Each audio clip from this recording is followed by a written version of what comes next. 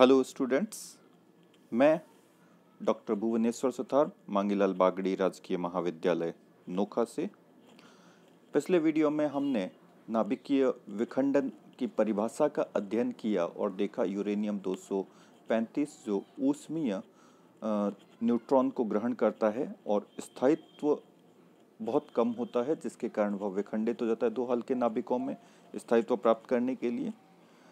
तो इस नाभिकीय विखंडन की प्रक्रिया को हम किस प्रकार समझ सकते हैं? इसको समझने के लिए इसके स्वतः विखंडन किस प्रकार होता है और विभव रूतिका क्या होती है, जिससे हम इसको एक्सप्लेन करते हैं। इसका अध्ययन करेंगे हम इस वीडियो में।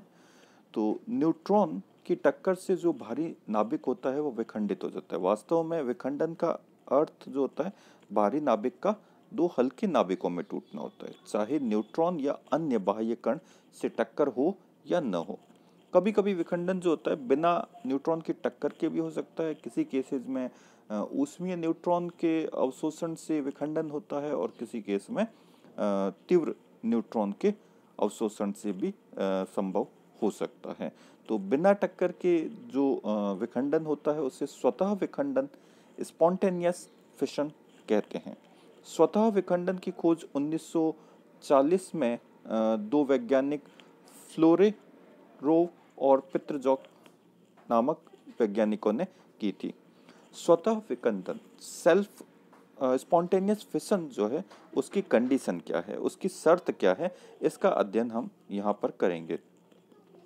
तो किसी भी नाभिक का सममित नाभिकों में स्वतः विखंडन जो है उसके लिए आवश्यक शर्त क्या होगी कंडीशन क्या होगी, वो हमने हमें फाइंड आउट करना है। तो एक भारी नाभिक है, जिसको हमने एलिमेंट को एक्स से एटॉमिक नंबर को ए से और सॉरी एटॉमिक नंबर को जेड से और मास नंबर को द्रव्यमान संख्या को हमने ए से रिप्रेजेंट किया हुआ है तो ये हमारा भारी नाभिक है जिसको हमने एक्स से रिप्रेजेंट किया। और विखंडन के पश्चात हमें दो एलिमेंट एक्स वन और एक्स टू मिलते हैं। इनके द्रव्यमान संख्या जो है वह ए वन और ए टू है क्रमशः, और एटॉमिक नंबर जेड वन और जेड टू है। चूँकि हम सममित विखंडन की बात कर रहे हैं तो ए वन और ए टू का मान तुल्य होगा और इसका मान ए बाई टू के तुल्य होगा। और जेड वन और जेड टू का मान जेड बाई के जेड बाई टू के तुल्य होता है, जिसमें द्रव्यपान संख्या और परमाणु संख्या का मान हाफ़ हो जाता है। तो उत्पन्न विखंडन यह तभी संभव होगा जब इस प्रक्रिया में धनात्मक ऊर्जा रिलीज़ होती है, या इसके साथ जो ऊर्जा रिलीज़ होती है, जिसको हम Q से रिप्रेजेंट करें तो Q का मान क्या होना चाहिए? पॉजिटिव होना चाहिए। और Q का मान हमने पहले भी देखा, क्यू जो होता है, उत्पन्न ऊष्मा तो नाभिक इस प्रक्रिया में भाग लेने वाले नाभिकों का द्रव्यमान और रिजल्टेंट जो उत्पाद मिलते हैं, प्रक्रिया के पश्चात, विखंडन होने के पश्चात जो दो हल्के नाभिक मिलते हैं, उनके मास में जो अंतर होता है, वह क्यू से डिफाइन किया जाता है और इसका मान पॉजिटिव चाहिए। तो इसको हमने एक समीकरण की फॉर्म में लिखा हुआ है M Z A minus two M Z by two A by two. इसकी वैल्यू पॉजिटिव होनी चाहिए हमारी समीकरण आ गई है। तो इसका मान ज्ञात करने के लिए, द्रव्यमान का मान ज्ञात करने के लिए हम सेमी एम्पेरिकल मास फार्मूला जो हमने पिछले चैप्टर में पढ़ा सेमी अनुभविक सूत्र भी कहते हैं, इसका प्रयोग किया हमने और इसके लिए एम जेड ए की वैल्यू फाइंड आउट की। वो M M Z into M H A minus plus A minus Z M N minus ये binding energy plus binding energy वाली टर्म होती है। बाइंडिंग एनर्जी वाली टर्म्स को हमने सेमी एम्पेरिकल मास फार्मूला के टर्म्स 500 टर्म्स से रिप्लेस कर दिया।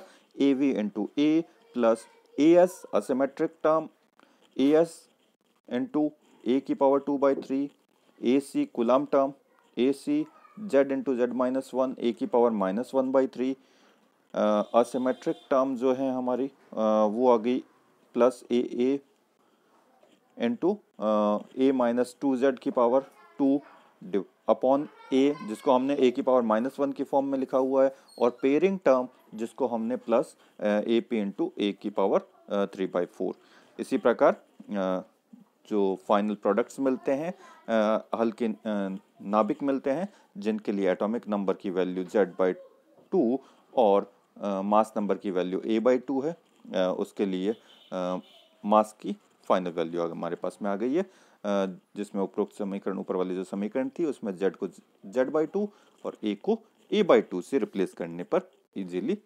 प्राप्त हो जाती है। एम एच जो है, वह प्रोटॉन या हाइड्रोजन के मास को रिप्रेजेंट करता है, एम एन जो है वह न्यूट्रॉन के मास को रिप्रेजेंट करता है, A V, A S, A C A C, ए ए और ए पी जो है क्रमशः आयतन, पृष्ठीय कुलाम असमित और युग्मन ऊर्जाओं के गुणांकों को प्रदर्शित करता है। ये जो दोनों समीकरण हमें प्राप्त हुई थी, उनका मान अगर हम क्यू वाली जो इक्वेशन थी नंबर दो उसमें रखते हैं और हल करें तो हमारे पास कुछ इस प्रकार से टर्म आएगी। Q equal to minus A S two की power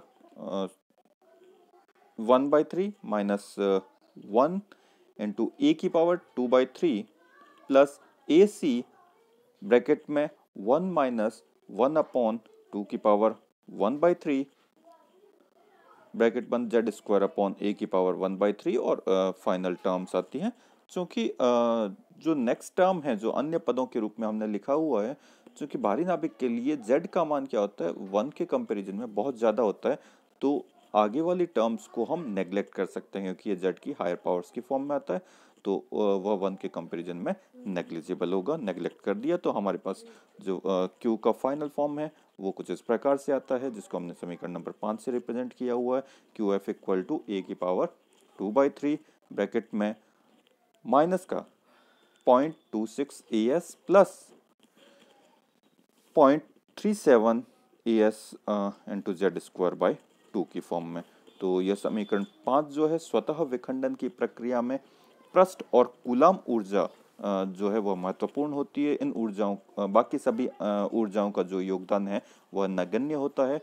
जो कंडीशन है स्वतः विखंडन की क्यू का मान पॉजिटिव होना चाहिए, उसको अप्लाई करें। तो हमारे पास ये जो ब्रैकेट वाली टर्म है, इसका मान क्या होगा? ग्रेटर देन ज़ीरो होगा ग्रेटर देन ज़ीरो होगा तो इससे हमारे पास कंडीशन आ गई। A sorry Z square upon A का मान जो है ग्रेटर देन होगा point two six upon point three seven into A S upon A C A S और ए सी जो कांस्टेंट है, इनकी वैल्यू तेरह मेगा इलेक्ट्रॉन वोल्ट और कुलाम कांस्टेंट की जो वैल्यू है, वह point five nine five mega electron volt है, इसका मान रखते हैं तो जेड स्क्वायर अपॉन ए का जो मान है, स्वतः विखंडन के लिए इसका मान Z square upon A greater than fifteen यानी पंद्रह से अधिक होना चाहिए। जब भी जेड स्क्वायर अपॉन ए का मान पंद्रह से अधिक होगा तो नाभिक स्वतः विखंडित हो जाना चाहिए। यह कंडीशन हमने प्राप्त की। परंतु वास्तव में विखंडन की प्रायिकता इस कंडीशन के लिए बहुत कम मिलती है। यूरेनियम 235 जो है उसका स्वतः विखंडन होता है और सैद्धांतिक रूप से इसका जो मान है, वह लगभग यूरेनियम 235 के लिए इसका मान जो है 36 वैल्यू मिलती है। तो यूरेनियम 235 के लिए हमने देखा इसका मान पंद्रह छत्तीस प्राप्त होता है थर्टी सिक्स प्राप्त होता है, जो कि पंद्रह से बहुत अधिक होता है। और इससे ऊपर वाले जितने भी नाभिक हैं, उनका स्वतः विखंडन संभव है और नीचे वाले नाभिकों के लिए, सभी के लिए स्वतः विखंडन संभव नहीं होता और यूरेनियम 235 के लिए भी स्वतः विखंडन की जो अर्ध आयु है, उसका मान बहुत ज़्यादा, दो इंटू दस की पावर सत्रह वर्ष होता है। तो स्वतः विखंडन को समझने के लिए एक नई थ्योरी या थोड़ा सा मॉडिफिकेशन किया गया था स्वतः विखंडन को अवरोधिका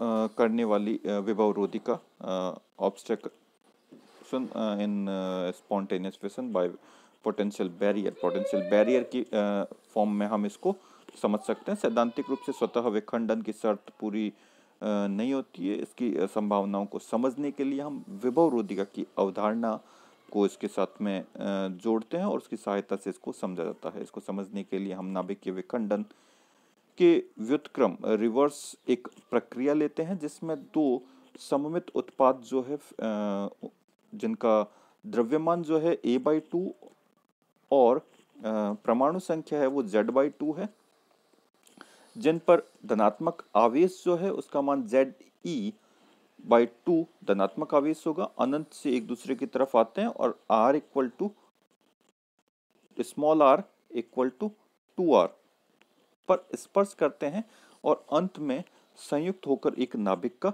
निर्माण करते हैं।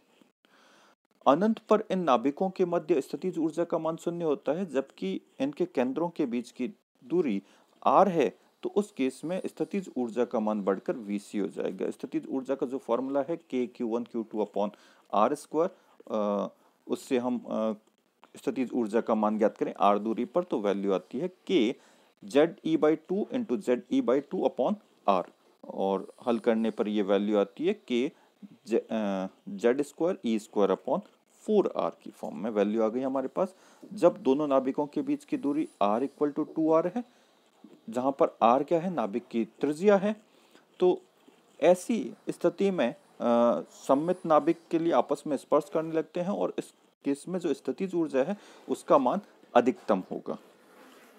लेकिन स्थितिज ऊर्जा का जो वास्तविक मान है, इससे कम प्राप्त होता है। दोनों सम्मित नाभिकों के बीच की जो ऊर्जा है, वह R equal to two R पर नाभिकीय बल लगने की वजह से कुछ परिवर्तन होता है। कुलाम ऊर्जा के कारण या विद्युत ऊर्जा के कारण तो इसमें ऊर्जा अधिक मिलती है, परंतु यहाँ पर नाभिकीय बल भी कार्य करने लगता है, जिसके कारण इसकी ऊर्जा में कुछ कमी आती है। इनकी स्थितिज ऊर्जा का स्थिति के साथ ग्राफ प्लॉट करें तो चित्रानुसार एक ग्राफ प्राप्त होता है जो वैल्यू बढ़ती है, मैक्सिमम सी तक पहुँचती है और उसके बाद में जब नाभिक स्वतंत्र हो जाते हैं तो इनके बीच में जो वैल्यू है वन अपॉन आर के साथ गुलाम ऊर्जा के रूप में परिवर्तित होती है।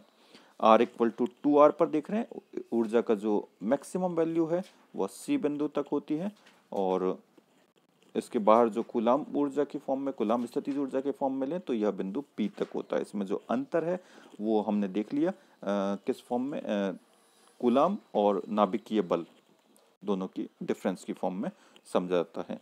ठीक है? जो बिंदु सी है स्पर्श वाले बिंदु जहाँ पर दोनों नाभिक एक दूसरे को स्पर्श करते हैं वहाँ पर भी सी जो है वो कुलाम ऊर्जा को व्यक्त करता है।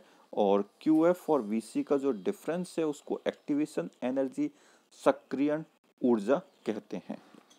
R equal to two R पर स्थितिज कुलाम स्थितिज ऊर्जा जो हमने ज्ञात कर रखी है, नाभिक की त्रिज्या, इसका मान ज्ञात करने के लिए नाभ आर का मान रखेंगे। आर का मान जो है नाभिक की त्रिज्या R equal to capital R zero into A की पावर वन बाई थ्री यहाँ पर ए का मान है ए बाई टू तो वैल्यू ए बाई टू की power one by three R zero जो होता है वन पॉइंट फोर या वन पॉइंट फाइव फर्मी के ऑर्डर का होता है यानी one point four five into दस की पावर माइनस पंद्रह मीटर हो गया।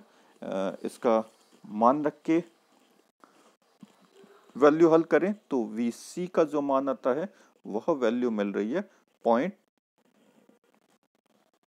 point one five six into दस into Z square upon A की power one by three mega electron volt R equal to two R दूरी पर नाभिक एक दूसरे को स्पर्श करते हैं।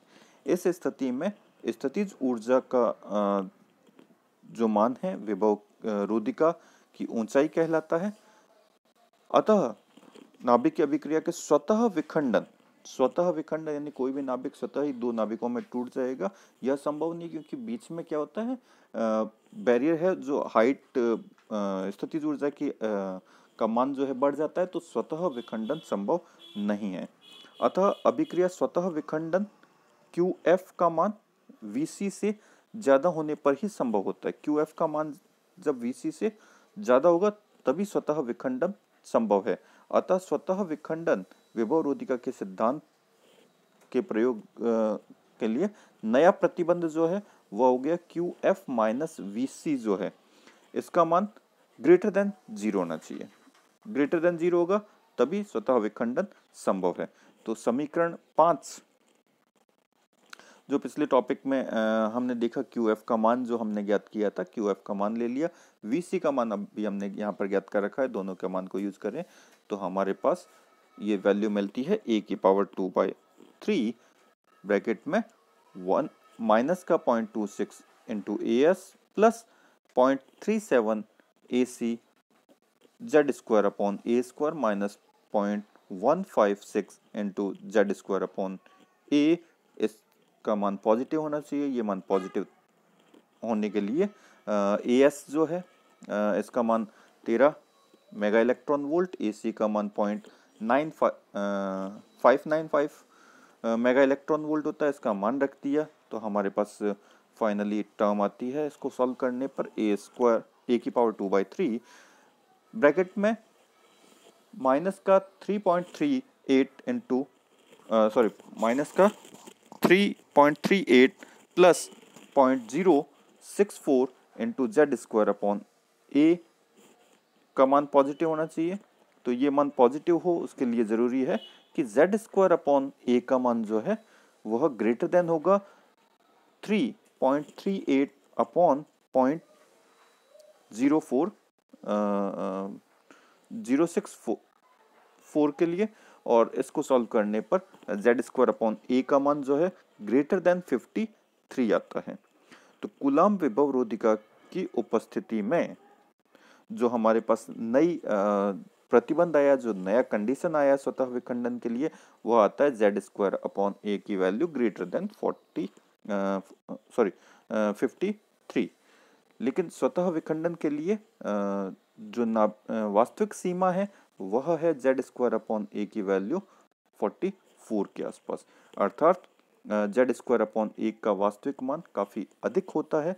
यह विसंगति क्वांटम यांत्रिकी के जो हमारा सुरंगन प्रभाव है टर्नलिंग इफ़ेक्ट जो है, उसके आधार पर सफलतापूर्वक समझाया जा सकता है। तो इस प्रकार हम विभव रोधिका के कॉन्सेप्ट को यूज़ करके नाभिकीय विखंडन, स्वतः नाभिकीय विखंडन की व्याख्या कर सकते हैं और इसको और डिटेल से और अच्छे से समझने के लिए या इसमें जो डिफरेंस आ रहा है थियोरिटिकल और प्रैक्टिकल वैल्यूज़ में, उसको एक्सप्लेन करने के लिए हम क्वांटम मैकेनिक्स के टनलिंग इफ़ेक्ट को यूज़ करते हैं और उसकी सहायता से इसको समझा सकते हैं।